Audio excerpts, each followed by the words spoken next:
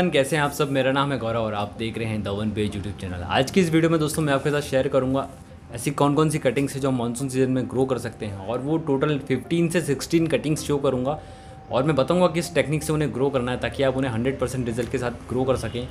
अब दोस्तों, आपको ये ध्यान रखना है कि मानसून सीज़न का मतलब ये नहीं है कि उसके ऊपर बहुत सारा पानी गिरना चाहिए, उसको शेडी एरिया में रखेगा एक एनवायरनमेंट डेवलप होता है मानसून सीज़न में जिससे वो कटिंग्स ग्रो हो जाती है। तो उस तरीके से मैं आपके साथ शेयर करूँगा कैसे इन्हें ग्रो करना है और कुछ कटिंग ऐसी होगी जिन्हें थोड़ा एक्स्ट्रा केयर की ज़रूरत पड़ेगी, वो भी मैं वीडियो में बता दूँगा। तो चलिए दोस्तों वीडियो स्टार्ट करते हैं। अब दोस्तों, हम एक लाइक टारगेट सेट करते हैं, वो है फोर थाउज़ेंड लाइक आप इस वीडियो को ऊपर फोर थाउज़ेंड लाइक देंगे तो हम बहुत ज़्यादा मोटिवेट होंगे और हमें लगेगा हमारा एक कनेक्शन बना हुआ है।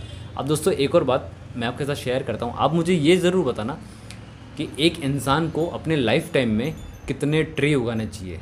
तो उसका आंसर आप कमेंट सेक्शन में ज़रूर देना और ऐसा आंसर देना, टेन, ट्वेंटी, थर्टी, फोर्टी, दस, बीस, तीस, चालीस, ऐसे आंसर देना, ऐसे मत देना कि जितने उगा सके उतने, ठीक है?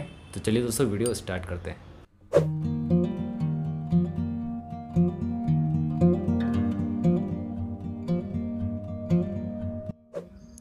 Number one rose cutting. जी हाँ दोस्तों, आपका भी फेवरेट और मेरा भी फेवरेट रोज़ प्लांट को कटिंग से ग्रो करना। और दोस्तों, इसको कटिंग से ग्रो होते हुए देखना बहुत ही खूबसूरत सा एक्सपीरियंस होता है। आप में से काफ़ी लोग के कमेंट्स आते हैं हम फेल हो जाते हैं। बट दोस्तों, अगर आप इसे कोकोपीट में ग्रो करेंगे और एक रेनी सीज़न में ग्रो करेंगे तो आपको रिज़ल्ट बहुत अच्छा मिलने वाला है।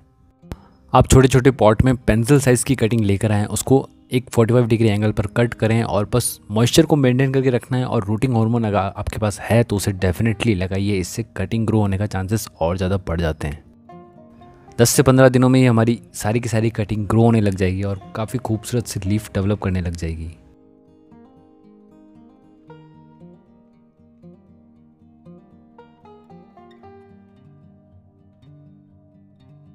आप दोस्तों छोटी छोटी कटिंग ही नहीं, बल्कि बड़ी बड़ी मोटी मोटी कटिंग भी ग्रो कर सकते हैं और रोज़ बॉन्साई भी बना सकते हैं। और मैं फिर से रिपीट करता हूँ, आपको पर्टिकुलर कोई भी वीडियो डिटेल में देखना हो तो उसका डिस्क्रिप्शन में आपको लिंक मिल जाएगा।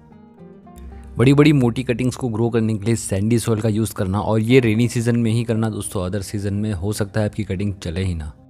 हमारी कटिंग इतनी ज़्यादा मोटी है कि इसने काफ़ी लंबी लंबी ब्रांचेस प्रोड्यूस कर ली, वो भी सिर्फ़ दस दिन में, यहाँ पर आप रिज़ल्ट देख ही सकते हैं। दोस्तों, क्या आपको पता है, अगर आपके पास रूटिंग हार्मोन नहीं हो तो आप एलोवेरा जेल का भी यूज़ कर सकते हैं एज ए रूटिंग हार्मोन इस क्लिप में आप यही देखेंगे। यहाँ पर एलोवेरा जेल एक रूटिंग हार्मोन के जैसा काम करता है और एक एंटी फंगल एजेंट भी है जो आपकी कटिंग को सड़ने से या फिर फंगल इन्फेक्शन से बचाता है। तो आपको कुछ नहीं करना है बेस पार्ट पर काफ़ी ज़्यादा एलोवेरा जेल लगा दीजिए और बस अपनी कटिंग को ग्रो कर दीजिए। हमारी लिस्ट में नंबर टू पर है मोगरा की कटिंग यहाँ पर दोस्तों मोगरा प्लांट बहुत ही खूबसूरत सा प्लांट है, बहुत खूबसूरत से फ्लावर प्रोड्यूस करता है और उनमें बहुत ही महक, बहुत ही खूबसूरत सी महक आती है। आप डेफिनेटली चाहेंगे आपके घर में मोगरा प्लांट हो तो आप इसकी कटिंग भी ईजिली ग्रो कर सकते हैं और नेक्स्ट सीज़न तक ये फ्लावर भी देने लग जाएगा। तो मोगरा प्लांट को दोस्तों हम दो तरीके से ग्रो कर सकते हैं। एक तो शहद लगा के और दूसरा रूटिंग हार्मोन लगा के। अगर आपके पास रूटिंग हार्मोन नहीं है तो आप डेफिनेटली शहद ट्राई करें। ये एंटी फंगल है और बहुत जल्दी प्लांट को रूट प्रोड्यूस करने में मदद करता है। अगर मोगरा प्लांट की बात करी जाए तो दोस्तों यहाँ पर कोई भी साइज़ की कटिंग हम ग्रो कर सकते हैं। मोटी से मोटी और पतली से पतली तो आप डेफिनेटली एक भी कटिंग फेंकना मत, सारी की सारी कटिंग ग्रो कर देना। दस पंद्रह दिन में ही आपको पता चल जाएगा आपकी कटिंग ग्रो हो रही है या नहीं हो रही है। अब यहाँ पर दोस्तों आपको वेट करना है, जल्दबाजी नहीं करनी है, क्योंकि अभी तो रूट डेवलपमेंट स्टार्ट ही हुआ है तो कटिंग को हिलाइएगा नहीं और यहाँ पर मॉइस्चर क्रिएट करके रखिएगा, जो कि रेनी एनवायरमेंट के थ्रू बन जाता है।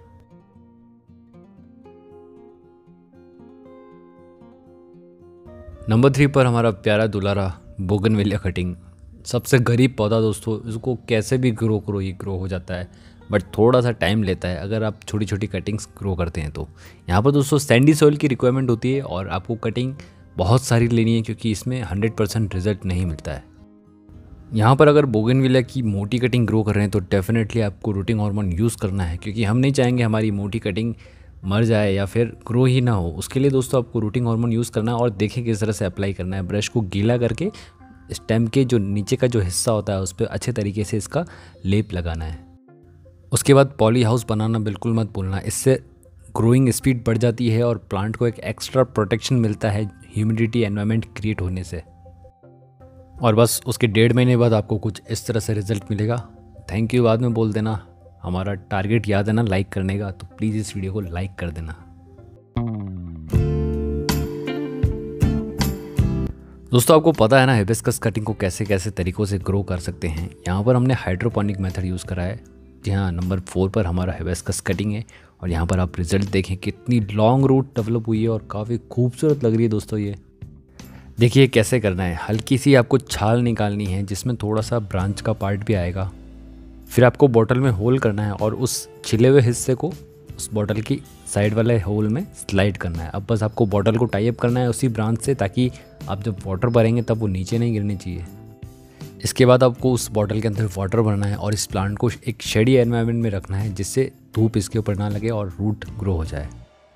और बस 20 दिनों के बाद आपको काफ़ी सारी रूट मिल जाएगी और आप इस मेन ब्रांच को अपने मेन मदर प्लांट से सेपरेट कर सकते हैं और एक सेपरेट पॉट में ग्रो कर सकते हैं। आपके हिबिस्कस प्लांट की सॉइल मिक्स बहुत सही हो तो आप यहाँ पर रूट्स देख सकते हैं। हमारी कटिंग ने कितनी ज़्यादा रूट्स डेवलप करी है। हिबिस्कस की कटिंग हमेशा दोस्तों सेमी वुड होनी चाहिए मतलब कि ब्राउन कलर की होनी चाहिए। उससे रिज़ल्ट बहुत अच्छा मिलता है। आपको रिज़ल्ट फास्ट भी मिलेगा और रूट्स भी बहुत ज़्यादा ग्रो होगी। और पंद्रह दिन में कुछ इतनी सारी लीफ हमें मिल जाएगी। अब आपको 20 से 25 दिन का और वेट करना है और उसके बाद आप अपनी कटिंग को निकाल के सेपरेट पॉट में शिफ्ट कर सकते हैं। नंबर फिफ्थ पर हमारे जितने भी फाइकस के प्लांट आते हैं दोस्तों, उनको आप इजीली ग्रो कर सकते हैं। आपको करना कुछ नहीं है, बहुत सारी कटिंग्स लानी है और उन्हें ग्रो करना है। बट कौन से मीडिया में ग्रो करना है? अब यहाँ पर दोस्तों आप उसे सॉइल में भी ग्रो कर सकते हैं सैंड में भी ग्रो कर सकते हैं। बट अगर आपके पास कोकोपीट है तो आप डेफिनेटली कोकोपीट यूज़ करें क्योंकि इसमें बहुत ज़्यादा वो रूट डेवलप करेगा और आपको एक फ्यूचर बॉन्साई मिल जाएगा। आप आने वाले वीडियोस में देखेंगे हम कैसे फाइकस के ऊपर बहुत सारे वीडियोस बनाने वाले हैं एज ए बॉन्साई तो इस चैनल को सब्सक्राइब ज़रूर कर लेना।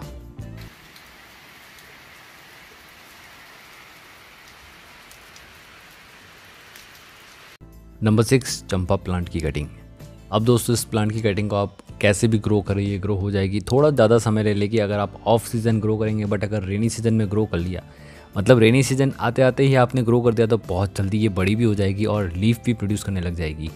तो चलिए देखते हैं इसे कैसे ग्रो करना है। आप जब भी चंपा प्लांट की कटिंग लेंगे, एक हेल्दी कटिंग लेंगे और फ्रेश कटिंग लेंगे तो आपको डेफिनेटली गुड रिज़ल्ट मिलने वाला है। वैसे पुरानी कटिंग भी इजीली ग्रो हो जाती है। अब आपको ग्रो कैसे करना है, इसकी सारी सारी लीफ रिमूव करनी है। इसके बाद हमारी चंपा कटिंग को आप एक से दो दिन आप छोड़ देंगे ताकि उसका बेस पार्ट ड्राई हो जाए, क्योंकि फंगल इन्फेक्शन हो सकता है अगर आपने गीली कटिंग लगा दी। बस उसके बाद आपको एक छोटा सा पॉट लेना है। आप कोकोपीट सॉइल कोई भी सॉइल मिक्सचर ले सकते हैं बट सैंडी सॉइल लेंगे तो ज़्यादा अच्छा रिज़ल्ट रहेगा। यहाँ पर आपको वाटरिंग का ध्यान रखना है। अगर आपने ज़्यादा वाटर दे दिया तो आपकी प्लूमेरिया की कटिंग चंपा की कटिंग ख़राब हो सकती है। और इसका टॉप बिल्कुल भी कट मत करना, क्योंकि यहाँ से ही न्यू शूट डेवलप होगा और आपको एक रिज़ल्ट पता चलेगा एक महीने के बाद। एक से डेढ़ महीने में ही हमें रिज़ल्ट मिल जाएगा और अपनी प्लूमेरिया या चंपा की कटिंग को आप ग्राउंड में ग्रो कर सकते हैं या फिर एक बड़े पॉट में शिफ्ट कर दें, जो कि हम करने वाले हैं। नंबर सेवन है जेड प्लांट कटिंग और दोस्तों, हम सभी को बॉन्साई बहुत अच्छा लगते हैं और जेड प्लांट की बॉन्साई बनाना थोड़ा सा आसान हो जाता है। तो यहाँ पर आपको करना क्या है, आपको कटिंग्स लगानी है और उन कटिंग को लगा के आप एक से दो साल भूल जाइए, तभी आपको एक बॉन्साई बहुत अच्छा डेवलप बॉन्साई मिल जाएगा। बस आपको उसको कटिंग करना है और शेप देना है। चलिए अब देख लेते हैं किस तरह से जेड प्लांट की कटिंग को ग्रो करा जाता है। यहाँ पर भी हम रूटिंग हार्मोन का यूज़ करेंगे क्योंकि आप में से काफ़ी सारे लोगों की शिकायत होती है कि, सर, हमारी जेड प्लांट की कटिंग ग्रो ही नहीं हो रही है। उसके लिए आप एलोवेरा जेल ले सकते हैं हनी ले सकते हैं या फिर अगर आपके पास रूटिंग हार्मोन है तो डेफिनेटली उसको यूज़ करें। बस आपको करना कुछ नहीं है। आपको कटिंग लेनी है aloe vera gel aloe vera की लीफ लेनी है, उसे कट करिए और बस अपनी कटिंग को उसमें डिप करें और ग्रो कर दें three two four inches deep grow करेंगे तो रूट्स बहुत अच्छी पैदा होगी और बस उसके बाद आपको क्या करना है? मॉइस्चर को मेंटेन करके रखें, बस आपकी कटिंग रेडी टू ग्रो है। नंबर एट स्नेक प्लांट और यहाँ पर आप देख सकते हैं रूट के साथ स्मॉल स्मॉल रनर प्लांट भी ग्रो होने लग गए मतलब कि इसकी लीफ प्रोपोगेशन सक्सेसफुल रहती है। बट दोस्तों लीफ प्रोपोगेशन में काफ़ी लंबा समय निकल जाता है। इससे अच्छा बेटर ऑप्शन हमारे पास ये है कि उसके जो रनर होते हैं स्नेक प्लांट के बहुत सारे रनर निकलते हैं। जो आगे आने वाले वीडियोस में आपको शेयर करूँगा मैं तो रनर आप सेपरेट करें और ग्रो करें, वो बहुत जल्दी ग्रो हो जाते हैं। बट आप, अगर आपके पास रनर नहीं है और आपके पास सिंगल लीफ है या फिर आप किसी फ्रेंड से बोरो करके लाए हैं तो डेफिनेटली आप उसकी कटिंग ग्रो कर सकते हैं। अब दोस्तों रनर को ग्रो कैसे करना है? आपको नॉर्मल सॉइल लेनी है, या तो कोकोपीट मिक्स कर सकते हैं, या सैंड मिक्स कर सकते हैं, या फिर नॉर्मल सॉइल में ही ग्रो कर सकते हैं। स्नेक प्लांट की कटिंग बहुत इजी टू ग्रो है और अगर आप चाहें तो इसको वाटर में भी प्रोपोगेट कर सकते हैं। बहुत जल्दी ये रूट्स प्रोड्यूस कर लेता है और रूट प्रोड्यूस करने के जस्ट बाद ये अपने न्यू रनर प्लांट प्रोड्यूस करने लग जाता है। नंबर नाइन मैरीगोल्ड कटिंग जी हाँ दोस्तों, सही सुना आपने मैरीगोल्ड की कटिंग भी ग्रो करी जा सकती है बहुत ईजी वे में। पहले तो आप ये खूबसूरत से फूल देखें और एक हल्का सा प्रोसेस देखें किस तरह से मैरीगोल्ड ग्रो करे जाते हैं। मैरीगोल्ड के ड्राई सीड्स को पॉट के ऊपर स्प्रिंकल करें और उसके कुछ ही दिनों में आपको small small small small marigold नज़र आने लग जाएँगे और और इनको आप सेपरेट भी कर सकते हैं या फिर इसी में ग्रो होने दीजिए। बहुत जल्दी ये बड़े हो जाएँगे और आपको बहुत सारे फ्लावर देंगे। ये देखिए दोस्तों, कितनी ज़्यादा रूट्स डेवलप हो चुकी है। वो भी वाटर के अंदर। चलिए सीख लेते हैं कैसे करना है इसको। और ये रेनी सीज़न में ही करना होगा दोस्तों। अदर सीज़न में पॉसिबल ही नहीं है। क्योंकि रेनी सीज़न में एक सूटेबल एनवायरनमेंट बनता है और मेरीगोल्ड के प्लांट एरियल रूट प्रोड्यूस करने लग जाते हैं। उन एरियल रूट का हमें फ़ायदा उठाना है और बस आपके प्लांट को कट करिए और इसे ग्रो कर सकते हैं बहुत आसान तरीके से। यहाँ पर दोस्तों आप वाटर में ग्रो करें या फिर डायरेक्ट सॉइल में भी ग्रो कर सकते हैं, दोनों ही ऑप्शन आपके पास है। बट अगर आप रूट्स देखना चाहते हैं तो आप डेफिनेटली वाटर में ग्रो करके ट्राई करना।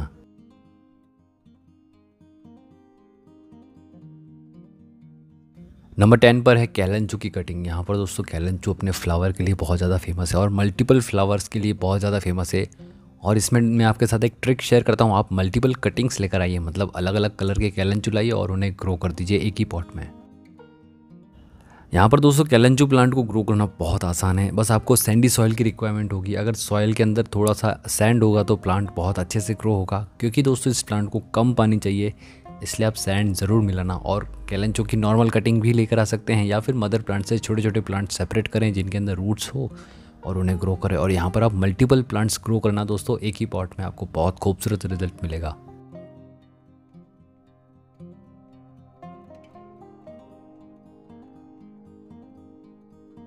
नंबर इलेवन पर है हमारे एडिनियम प्लांट की कटिंग और दोस्तों, ये प्लांट खूबसूरत फ्लावर इतने ज़्यादा प्रोड्यूस करता है एक सीज़न में तो आपको इसकी कटिंग ज़रूर ग्रो करनी चाहिए और उसके ऊपर क्राफ्ट भी कर देना चाहिए। और मैं फिर से रिपीट करता हूँ, आपको कोई भी पर्टिकुलर वीडियो देखना है, किसी भी प्लांट से रिलेटेड डिस्क्रिप्शन में आपको मिल जाएगा। एडिनियम की कटिंग ग्रो करना दोस्तों, बहुत आसान है। आपको कुछ नहीं करना है। आपको एडिनियम की नॉर्मल सी कटिंग देनी है, उसको एक दो दिन आउटसाइड रखना है ताकि उसका बेस ड्राई हो जाए और उसके बाद सैंडी सॉइल के अंदर उसे ग्रो कर दीजिए और आपको रिज़ल्ट करीब करीब एक महीने में ही नज़र आ जाएगा। दोस्तों, एडिनियम प्लांट बहुत स्ट्रॉन्ग प्लांट है तो हम उसकी सारी की सारी रूट कट करके भी उसे ग्रो कर सकते हैं। बस आपको रूट कट करनी है, उस पर फंगीसाइड लगाना है ताकि वो फंगस की प्रॉब्लम से ख़राब ना हो। दो से तीन दिन में कुछ इस तरह से वो ड्राई हो जाएगा और उसके बाद आप इसे डायरेक्टली पॉट के अंदर ग्रो कर दें और पॉट में ग्रो करने के बाद आपको जो रिज़ल्ट मिलेगा, वो बहुत खूबसूरत होगा। आपको बहुत सारी स्मॉल स्मॉल रूट्स मिल जाएगी। अब इसको जो शेप देना चाहे आप दे सकते हैं। हमारा यहाँ पर दोस्तों एक अलग ही प्रोजेक्ट चल रहा है एडिनियम की एरियल रूट को डेवलप करने का। तो हमसे जुड़े रहिए, इस चैनल को सब्सक्राइब कर लें। आगे आपको बहुत खूबसूरत से वीडियोस मिलने वाले हैं। Number twelve money plant cutting और दोस्तों, अगर आपके घर में मनी प्लांट है तो डेफिनेटली आपके आसपास की हवा बहुत शुद्ध है, क्योंकि ये काफ़ी ज़्यादा हेयर प्योरीफायर करता रहता है। मनी प्लांट की कटिंग ग्रो करना बहुत आसान होता है दोस्तों। इसका एक यूनिक मेथड हमने आपके साथ शेयर करा था, और आप लोगों ने काफ़ी उस वीडियो को पसंद भी करा था। सिंगल लीफ कटिंग से ग्रो करना है, और एक कटिंग से आप कम से कम पाँच से दस पौधे ईजिली बना सकते हैं। तो बस आपको मेथड तो पता चल ही गया ना किस तरह से मनी प्लांट ग्रो करना है। तो बस छोटी सी कटिंग लाइए और इतने सारे मनी प्लांट ईजिली ग्रो कर दीजिए। नंबर थर्टीन पोर्ट्यूलाका की कटिंग यहाँ पर दोस्तों हमारा पोर्ट्यूलाका इतना हार्डी प्लांट है, इतना रिजिड प्लांट है कि इसको किसी भी शेप साइज़ में ग्रो करेंगे इजीली ग्रो हो जाएगा और बहुत जल्दी रूट्स भी ले लेता है। मतलब दस दिन में आपको रूट्स आराम से दिख जाएगी। तो हमारी तरह आप भी different different shape size ideas लेते रहें इंटरनेट से और या फिर खुद के आइडियाज़ भी प्रोड्यूस करें और पोर्टोलागा को अलग अलग तरीक़ों से ग्रो करें। आपको रिज़ल्ट बहुत खूबसूरत मिलेगा और आने वाले समय में बहुत जल्दी ये फ्लावर भी दे देता है। इनको दोस्तों सैंडी सॉइल काफ़ी ज़्यादा अच्छी लगती है मतलब ज़्यादा वाटर रहेगा तो ये ख़राब हो सकते हैं और कम वाटर में ये बहुत ज़्यादा फ्लावर देने वाले हैं, जैसा कि आप ये देख ही रहे हैं। बहुत कम कॉस्ट पे आने वाला प्लांट है दोस्तों, ये तो आप डेफिनेटली मल्टीपल कलर वाले फ्लावर हमेशा सेलेक्ट करना और इसे एक ही सिंगल पॉट में ग्रो करना और ये लाइफ टाइम आपके साथ रहेंगे दोस्तों, अगले साल, अगले आने वाले चार पाँच सालों तक आपको ईजिली ये बहुत सारे फ्लावर देने वाले हैं। Number fourteen banyan tree cutting और दोस्तों, आप मुझे पता है कि आपको बॉन्सई बहुत अच्छे लगते हैं और बेनियन ट्री की बॉन्सई बनाना बहुत आसान होता है। अगर आप हमारे इंस्ट्रक्शंस फॉलो करेंगे तो आने वाले कुछ वीडियोस में मैं ट्री की बॉन्साई भी सिखाऊँगा कैसे बनानी है। फ़िलहाल तो ये एक झलक है जो आप देख लें। बेनियन ट्री की कटिंग नॉर्मल सॉइल में भी ग्रो हो जाती है बट अगर आपके पास सैंडी सॉइल होगी तो बेटर रहेगा। इसमें ज़्यादा वाटर होल्ड रहेगा तो हो सकता है हमारी कटिंग ख़राब हो जाए। बट दोस्तों, ये 99 परसेंट ग्रो हो ही जाती है। और अगर आपके पास रूटिंग हार्मोन है तो आप डेफिनेटली रूटिंग हार्मोन का यूज़ करें, क्योंकि दोस्तों, इससे रिज़ल्ट बहुत अच्छा मिलता है और रूट्स जल्दी प्रोड्यूस हो जाती है।